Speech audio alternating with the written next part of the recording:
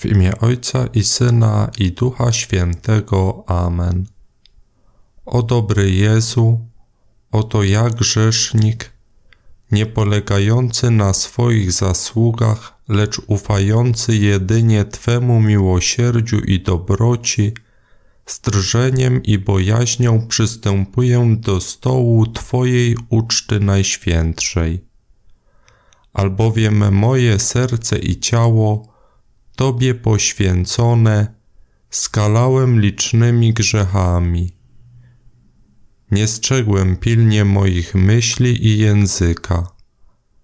Dlatego dobroci nieskończona i pełen potęgi majestacie, z lękiem, ale i z ufnością uciekam się w moim ucisku do Ciebie, który jesteś źródłem litości śpieszę do Ciebie, aby doznać uzdrowienia i szukam Twojej opieki, a nie mogąc ostać się wobec sprawiedliwości sędziego, wzdycham do miłosierdzia Zbawiciela. Tobie, Panie, odkrywam moje rany, przed Tobą mój wstyd wyznaję. Na widok licznych i wielkich moich grzechów ogarnia mnie trwoga, ale ufam Twojemu miłosierdziu, które nie ma granic.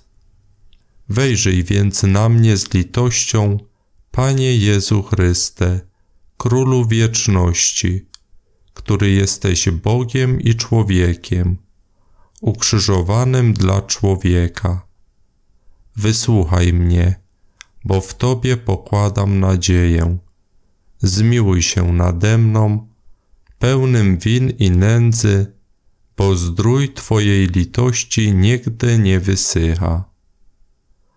Bądź pozdrowiona, ofiaro zbawienia, zawieszona na drzewie krzyża dla mnie i wszystkich ludzi.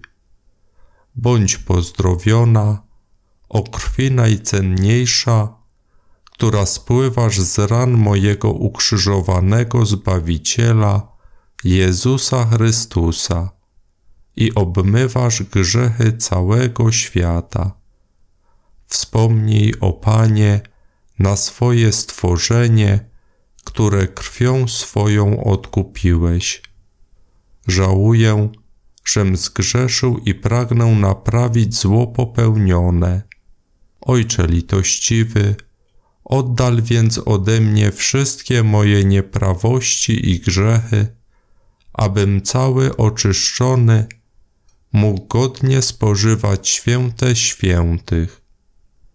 Spraw swoją łaską, by ta ofiara Twojego ciała i krwi, którą ja niegodny zamierzam przyjąć, wyjednała mi odpuszczenie grzechów Niech ona mnie oczyści całkowicie z moich win i niech rozproszy wszystkie złe myśli. Niech odrodzi we mnie dobre uczucia. Niech mi pomoże spełnić uczynki miłe Tobie i niech się stanie dla mojej duszy bezpieczną obroną przeciw wrogim zasadzkom. W imię Ojca i Syna i Ducha Świętego. Amen.